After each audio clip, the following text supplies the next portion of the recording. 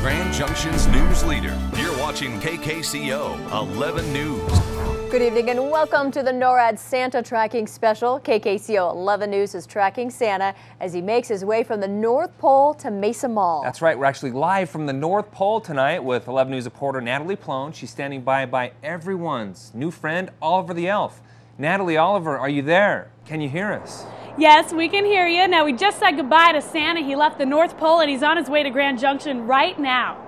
So, Natalie, how's the weather in the North Pole? Well, as you can imagine, it's a winter wonderland out here. The temperatures are freezing and the snow just keeps on falling. But I'm having a great time here with my new friend Oliver the Elf. He's a reporter for the Candy Cane Post. He knows all about Santa, don't you, Oliver? Why, yes. I have been the senior Santa analyst for the last 104 years. That's this many. wow, you must really love your job, Oliver. So, Oliver, where do you think Santa is right now, and how can folks track Santa as he makes our ways across the world this Christmas Eve? Well, you don't have to be a great reporter like me.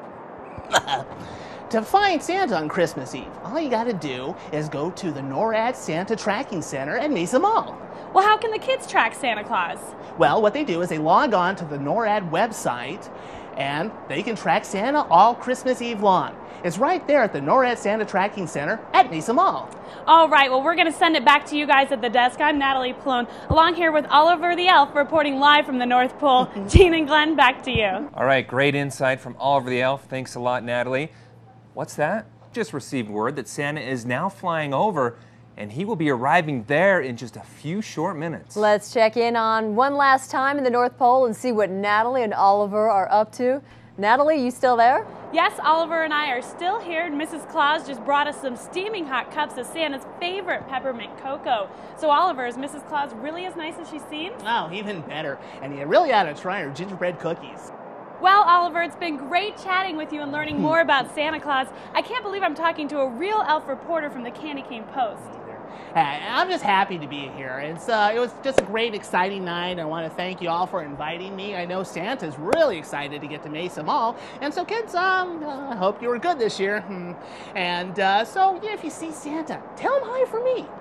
All right, thanks, Oliver. And kids, have fun at the Western Rockies Federal Credit Union Santa Tracking Station. Gene and Glenn, back to you guys in Grand Junction. I'll see you soon. But Oliver, he's got to stay at the North Pole. Thanks, Natalie. We just got word that Santa is now in the Grand Valley. He was just spotted flying over the monument. Yeah, he likes to take the scenic route, and why not? We've got a lot of beautiful stuff to see around here. But guess what? He just landed on the roof of the Mesa Mall, so we're going to send it back to you.